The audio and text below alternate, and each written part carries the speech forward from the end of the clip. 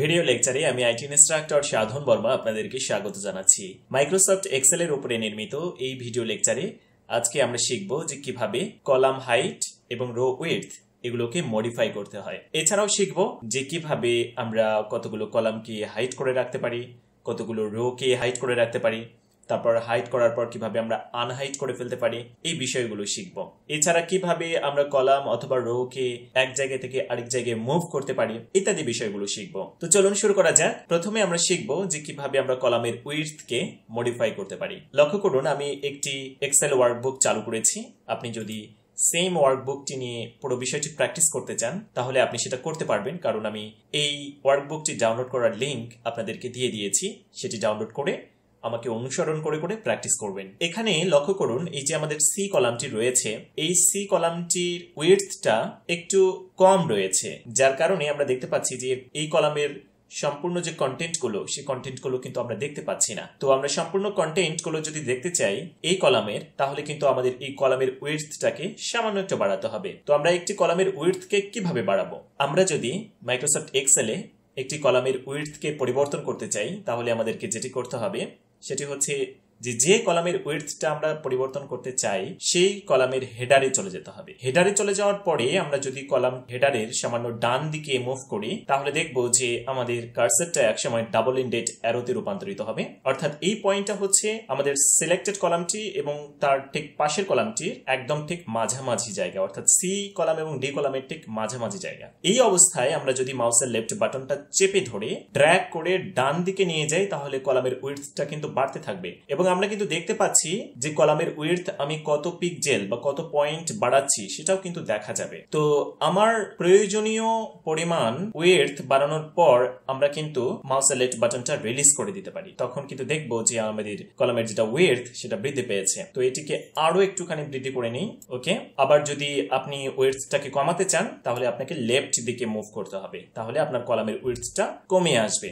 এভাবে আপনি কলামের উইথকে পরিবর্তন করতে পারেন। এবার আমরা শিখব যে কলামের উইথকে আমরা কীভাবে অটো ফিট করব। অটো ফিট বিষয়টা হচ্ছে যে এই কলামে যে কন্টেন্টগুলো রয়েছে, সেই কন্টেন্টগুলো সম্পূর্ণরূপে প্রদর্শন করার জন্য এই কলামটার উইথ ঠিক যতটুকু দেওয়া প্রয়োজন ইমিডিয়েটলি ঠিক ততটুকুই যেন দেওয়া হয়। এই বিষয়টাই হচ্ছে অটোফিট তো আমরা যদি এভাবে ম্যানুয়ালি কলামের ওয়েটটাকে একটু একটু করে বাড়াই I am not sure how many space I should give to this column for showing all the contents of the column তো আমি কিন্তু বুঝতে পারছি না যে আমাকে আসলে কতটুকু ওয়েট বাড়াতে হবে সবগুলো কন্টেন্ট প্রদর্শন করানোর জন্য। তো আমি যেটা করতে পারি সেটি হচ্ছে যে, এই জায়গাটাতে এসে যখন আমার কার্সারটা ডাবল ইন্ডেড অ্যারোতে রূপান্তরিত হবে, তখন আমাকে পরপর দুবার ক্লিক করে দিতে হবে। তাহলে আমার কলামটার ওয়েট ঠিক যতটুকু হলে সম্পূর্ণ কন্টেন্ট দেখানো দরকার, ঠিক ওয়েটটা সেই মাপেই চলে যাবে। এবার আমরা শিখব যে কীভাবে আমরা কতগুলো কলামের ওয়েট একসঙ্গে অটোফিট করতে পারি। তো আমরা যে অটোফিট প্রসেসটা একটু আগে শিখলাম, সেটি হচ্ছে একটি মাত্র কলামের ওয়েট কীভাবে অটো ফিট করতে হয়, সেটা শিখলাম। সেটা হচ্ছে আমাদের এভাবে যখন কার্সারটা ডাবল এন্ডেড অ্যারোতে রূপান্তরিত হবে, তখন পরপর দুবার ক্লিক করে দিতে হবে। তো আমরা যদি একসঙ্গে কয়েকটি কলাম সিলেক্ট করি সে আমি এখানে সব কলাম সিলেক্ট করলাম সবগুলো কলাম সিলেক্ট করার পর আমি যদি অটো ফিট করতে চাই, এই কলামের উইথগুলো, কেননা আমরা দেখতে পাচ্ছি ডিপার্টমেন্ট যেটি কলাম রয়েছে আমাদের, সেখানে আসলে এতগুলো স্পেস লাগে না, এটার স্পেসটা আমরা অটো ফিট করে কমিয়ে নিয়ে আসতে পারি। তো আমরা চাচ্ছি যে আমাদের একদম এই কলাম থেকে শুরু করে ই কলাম পর্যন্ত যে কলামগুলো রয়েছে, এই কলামগুলোর প্রত্যেকটির উইথ আমরা অটো ফিট করব। এক এক করে না, সবগুলোর একই সঙ্গে। তাহলে আমরা কীভাবে কাজটা করব? আমরা মেনুবারের হোম ট্যাবেই থাকব। হোম ট্যাবে থাকা অবস্থায় সেলস যে কমেন্ট গ্রুপটা রয়েছে, সেই কমেন্ট গ্রুপে চলে যাব। তারপর এই যে ফরম্যাট নামের যে কমেন্টটা রয়েছে, এর উপরে ক্লিক করব। ক্লিক করার পরে আমরা এখানে অটোফিট কলাম উইথ নামের একটা অপশন পাবো। এখানে ক্লিক করে দেব। তাহলে ইমিডিয়েটলি প্রত্যেকটা কলামের কন্টেন্ট অটোফিট হয়ে যাবে। এবার লক্ষ্য করুন, আপনি হয়তো ভাবছেন যে আমার নেম কলামে তো এত স্পেস লাগে না, এখানে এত স্পেস দিচ্ছে কেন? কেন না আমাদের যে এই যে লার্নার্স কন্ট্যাক্ট লিস্ট এই কথাটা লেখা রয়েছে, এটি এ ওয়ান সেলে লেখা রয়েছে দ্যাট মিনস এ কলামে রয়েছে। এই কন্টেন্টটুকুর জন্য একটু বেশি জায়গা লাগছে দ্যাটস ওয়াই এই ফাঁকা জায়গাটা বেরিয়ে আসছে। তো এটাকে আমরা ম্যানুয়ালি একটু ছোট করে দিই। ওকে আমরা জানলাম কীভাবে কলামের ওয়েথকে আমরা মডিফাই করব। এবার শিখব যে কীভাবে আমরা রো এর হাইটকে মডিফাই করব। তো রো এর হাইটকে যদি আমরা মডিফাই করতে চাই, তাহলে আমাদের যেটি করতে হবে, সেটি হচ্ছে যে আমরা যে রো এর হাইটটাকে মডিফাই করতে চাই, সেই রো এর হেডারে চলে যেতে হবে। সেই রো এর হেডারে চলে যাওয়ার পরে সেই রোটার সামান্য নিচের দিকে যেতে হবে, যখন কার্সারটা এরকম ডাবল এন্ডেড অ্যারোতে রূপান্তরিত হবে। তখন মাউসের লেট বাটন চেপে ধরে আমরা যদি মাউসটাকে একটু ওঠানামা করি তাহলে হাইট কমবে অথবা বাড়বে। নিচের দিকে নিয়ে গেলে হাইট বাড়বে রোটার আর উপরের দিকে নিয়ে গেলে হাইট কমে যাবে। এবং আমরা দেখতে পাচ্ছি যে কতটুকু হাইট বাড়ছে বা কমছে সেটা কিন্তু আমরা এখানে একটা টুল টিপের মাধ্যমে দেখতে পাচ্ছি।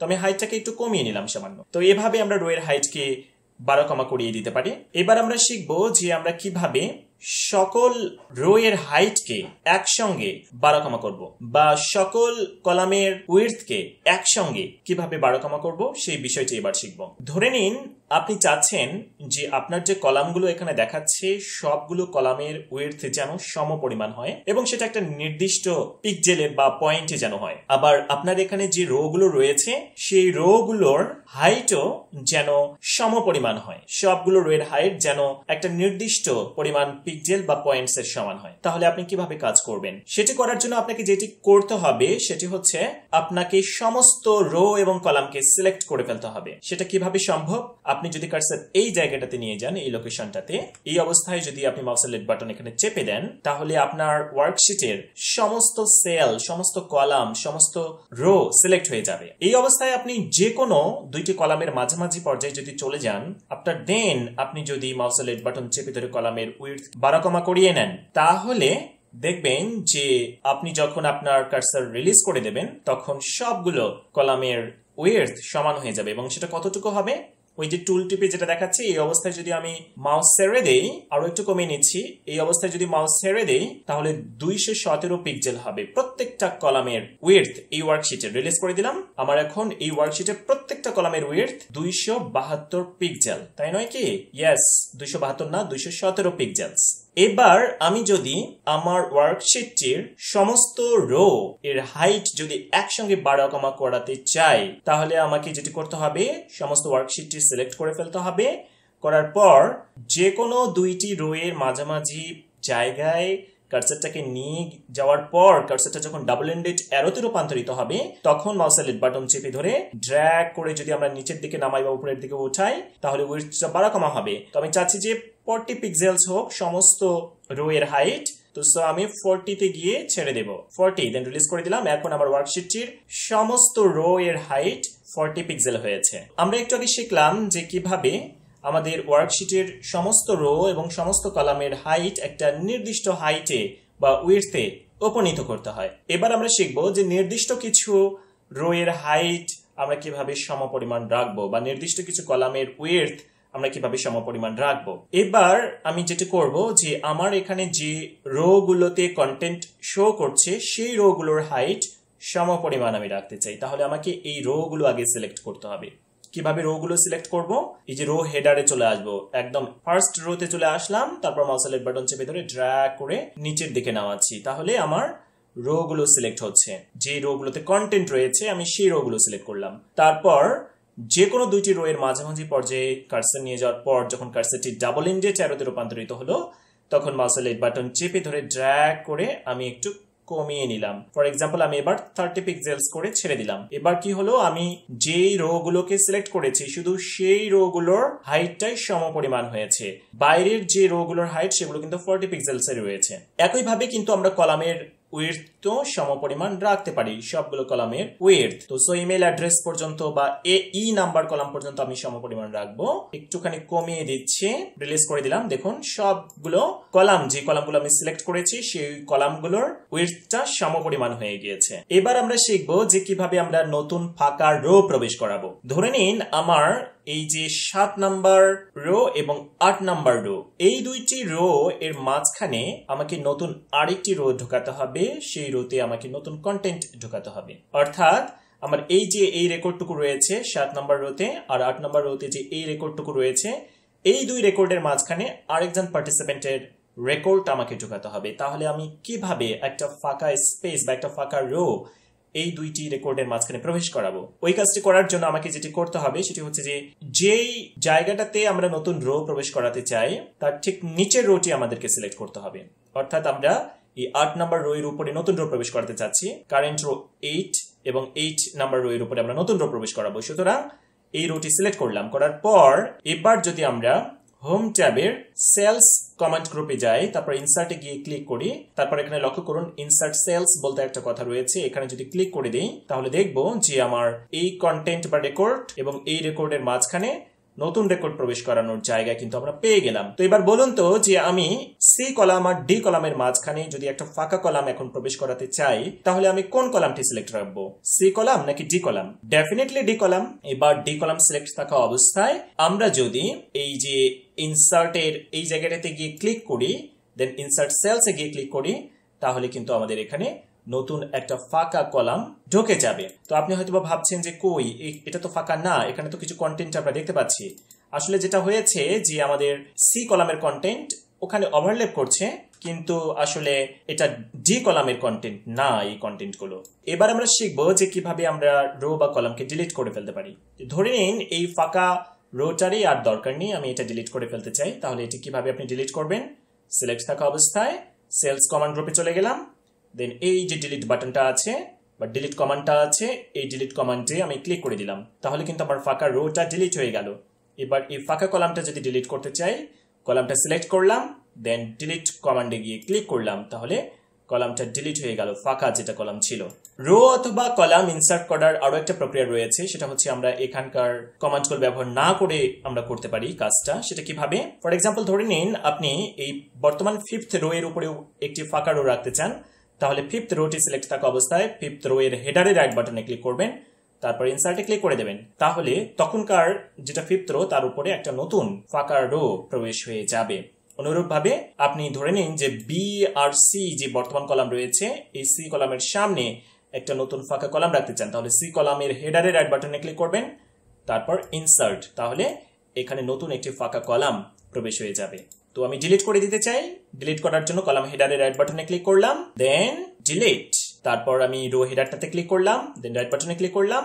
দেন ডিলিট এবার আমরা শিখব যে একটি রো অথবা কলামকে আমরা কীভাবে মুভ করতে পারি। ধরে নিন যে আমার যে ডিপার্টমেন্ট যেটি কলাম অর্থাৎ বর্তমান যেটি বি কলাম সেই কলামটিকে আমার এই ফুল অ্যাড্রেস কলাম এবং ফোন নাম্বার কলামের মাঝামাঝি জায়গায় রাখা উচিত। তাহলে আমি কীভাবে কাজটি করব? এই কাজটি করার জন্য আমরা বিভিন্নভাবে কাজটি করতে পারি, তবে এই কাজটি করার জন্য আমরা যে মেথডটি সব থেকে সহজ মেথডটি ফলো করব সেটি হচ্ছে যে প্রথমে বি কলামটা সিলেক্ট করব। বি কলামটা সিলেক্ট করার পর বি কলামের হেডার রাইট বাটনে ক্লিক করব, তারপর কাট এই অপশনটা নেব। তারপর আমি যেহেতু ফুল অ্যাড্রেস আর ফোন নাম্বারের মাঝে নতুন কাট করা কন্টেন্টটুকু ঢোকাতে যাচ্ছি, তাহলে আমাকে যেটি করতে হবে ডি কলামের হেডারে ক্লিক করতে হবে, তারপর ডি কলামের হেডারের রাইট বাটনে ক্লিক করতে হবে দেন ইনসার্ট কার্ড সেলস দেখুন, আমার কিন্তু ফুল অ্যাড্রেস এবং ফোন নাম্বারের ভিতরে এখন ডিপার্টমেন্ট ঢুকে গেল। আরেকভাবে আমরা কাজটা করতে পারি, উদাহরণ হিসেবে বলে নিচ্ছি যে আমি চাচ্ছি যে ডিপার্টমেন্ট কলামকে এবার ফোন নাম্বার আর ইমেল অ্যাড্রেস কলামের মাঝখানে রাখতে চাই, তাহলে আমাকে যেটি করতে হবে ফোন নাম্বার আর ইমেল অ্যাড্রেসের ভিতরে নতুন একটি ফাঁকা কলাম তৈরি করতে হবে। তাহলে কীভাবে কাজটি করব? ই কলামের হেডারের রাইট বাটনে ক্লিক করব দেন ইনসার্ট তারপর আমাদের ডিপার্টমেন্ট কলামটা পুরোটাকে সিলেক্ট করব। করার পর আমাদের কার্সারটাকে এইরকম পজিশনে নিয়ে আসব। যখন আমাদের কার্সারটা ঠিক এরকম আকৃতি লাভ করবে, তখন মাউসের লেট বাটন চেপে ধরে ড্র্যাগ করে এই জায়গায় এনে ছেড়ে দেব। তাহলেও কিন্তু একই কাজ হবে। কিন্তু এখানে একটা ফাঁকা কলাম তৈরি হবে।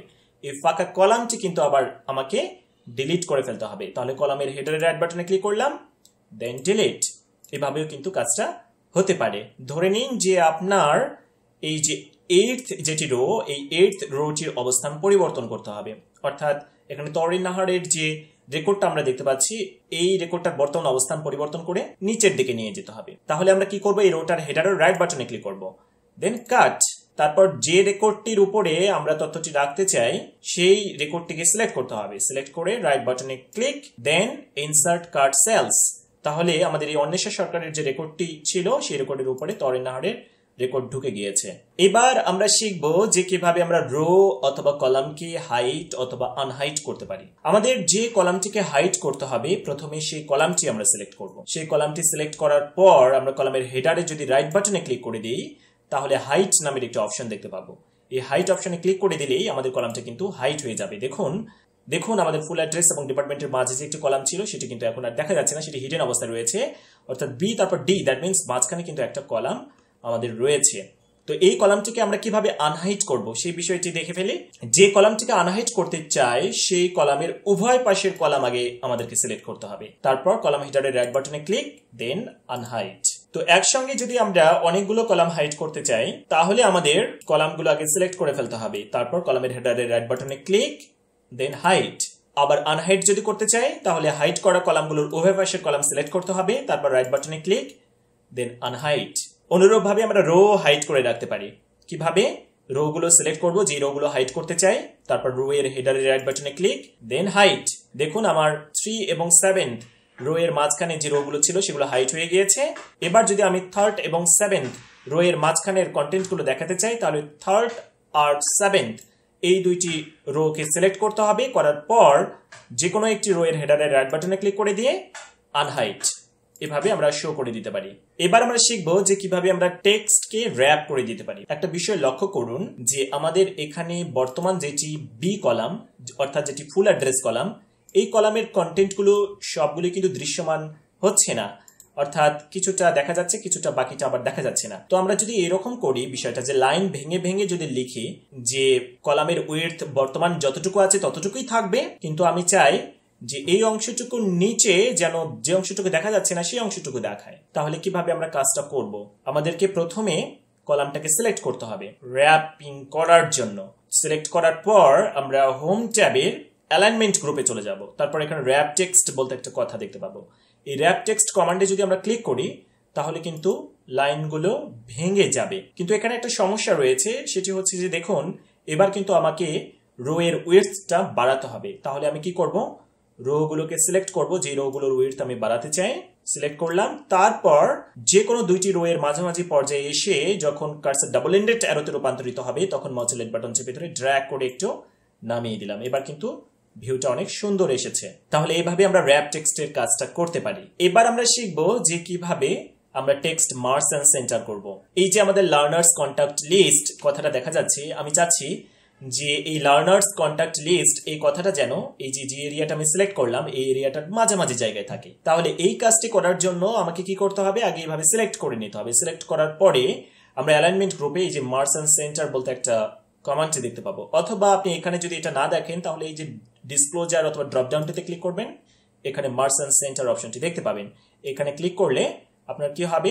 এই যে লার্নার্স কন্ট্যাক্ট লিস্ট এটা মার্স অ্যান্ড সেন্টার হয়ে যাবে এই কথাটা। যে এরিয়াটুকু সিলেক্ট করেছেন, সেই এরিয়াটুকুর মধ্যেই মার্সেল সেন্টার হয়ে যাবে। এবং এখানে একটা ঘটনা ঘটেছে, সেটি হচ্ছে যে আমাদের এটা সম্পূর্ণরূপে একটা সেলে রূপান্তরিত হয়ে গিয়েছে এবং এটা এ ওয়ান সেল দেখুন, পুরোটাই একটা সেলে রূপান্তরিত হয়ে গিয়েছে। তো আপনার যদি এভাবে মার্স অ্যান্ড সেন্টার করার প্রয়োজন পড়ে, তাহলে আপনার জন্য আমার একটা সাজেশন থাকবে। আপনি এভাবে মার্স অ্যান্ড সেন্টার না করে আপনি সেম ইফেক্ট আরেকটা প্রক্রিয়া অবলম্বন করে দিতে পারেন। সেটা করলে কি লাভ হবে? আমাদের এখানে যে সেলগুলোর সবগুলো একত্রিত হয়ে একটা সেলে রূপান্তরিত হয়ে গিয়েছে। তখন আর এটা হবে না। সেলগুলোর আলাদা বিশেষত্বটা থেকেই যাবে। সেটা কীভাবে সম্ভব? একটু আন্ডো করে নিলাম। আগের অবস্থায় ফেরত গেলাম। যে এরিয়াটাতে আমি মার্সেন্ট সেন্টার করতে চাই বা মার্সেন্ট সেন্টার ইফেক্ট দিতে চাই, সেই এরিয়াটা সিলেক্ট করতে হবে কন্টেন্ট সহ। তারপর আমাদের অ্যালাইনমেন্ট গ্রুপের এই যে পাশে একটা ছোট্ট বাটন দেখতে পাচ্ছি বা একটা কমান্ড দেখতে পাচ্ছি, এখানে আমাদেরকে ক্লিক করে দিতে হবে। তাহলে আমরা ফরম্যাট সেলস নামের একটা ডায়লগ বক্স পাবো। এখানে এই যে হরিজেন্টাল সেকশনে এই ডিসক্লোজারটিতে যদি আমরা ক্লিক করি, তাহলে সেন্টার অ্যাক্রোস সিলেকশন বলতে একটা কথা পাবো। এখানে ক্লিক করে দেব। তারপর ওকে করে দেব। তাহলে কিন্তু আমাদের সেন্টার অ্যাক্রোস সিলেকশন হবে। এটা করে কি লাভ হলো? এটা করলে যেটা হবে যে আমাদের প্রত্যেকটা সেলের আলাদা যেটা বিশেষত্ব, সেটা কিন্তু থেকে যাবে। সেই সাথে আমাদের যেটি মার্সেন্ট সেন্টারের ইফেক্ট সেটিও আমরা পেয়ে যাব। উফ, অনেক কিছু আলোচনা করে ফেললাম এই ভিডিও লেকচারে আশা রাখছি আপনি এই ভিডিও লেকচার থেকে মাইক্রোসফট এক্সেলের নতুন কিছু বিষয় শিখতে পারলেন। আমরা পরবর্তী ভিডিও লেকচারে মাইক্রোসফট এক্সেলের নতুন বিষয় নিয়ে আলোচনা করব। সুতরাং আপনার সঙ্গে দেখা হচ্ছে পরবর্তী ভিডিও লেকচারে ততক্ষণ পর্যন্ত ভালো থাকবেন, সুস্থ থাকবেন।